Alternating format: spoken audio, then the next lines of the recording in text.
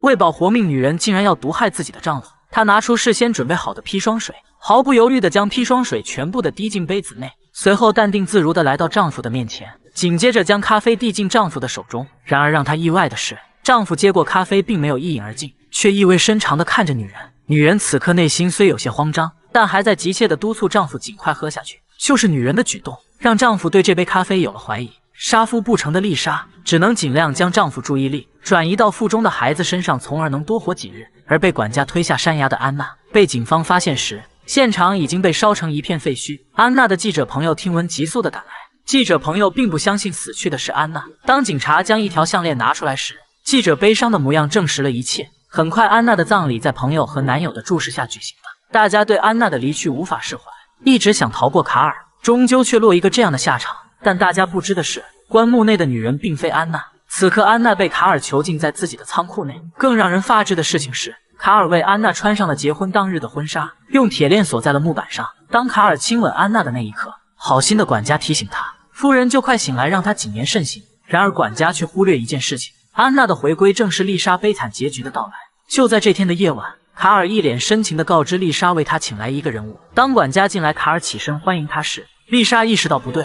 她质问丈夫到底想干什么，卡尔便开门见山的揭穿了眼前二人的私情，并且询问管家做自己孩子父亲是何感想。本想拿枪保命的管家，却在众人的枪之下妥了协。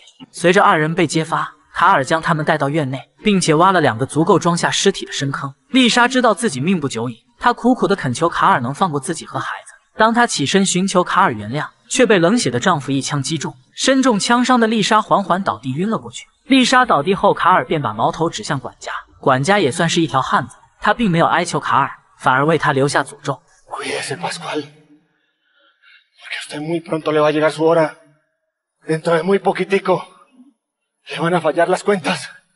管家话音刚落，卡尔便气愤的一枪杀了他，并且让手下将二人的尸体扔进坑内。随后，卡尔举枪为二人送了行。紧接着，在月圆之夜，让院内众人列队欢迎新任夫人的到来。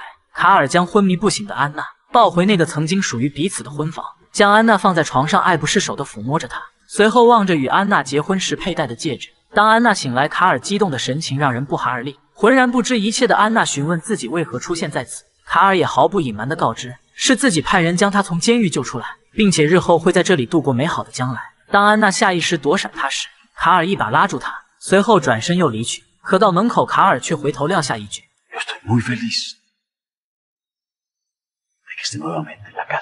卡尔的祝福让安娜痛苦万分，历经苦难的代价，终究还是没逃出卡尔手心。为能让安娜重新爱上自己，卡尔递上百万的芒果，但安娜却不领他的情，并且以绝食来威胁卡尔不要接近自己，这直接激出卡尔的本性。甚至为了让安娜能给自己诞下一儿半女，他请来医生为其检查身体。殊不知，就是医生的到来，安娜的秘密也被揭晓。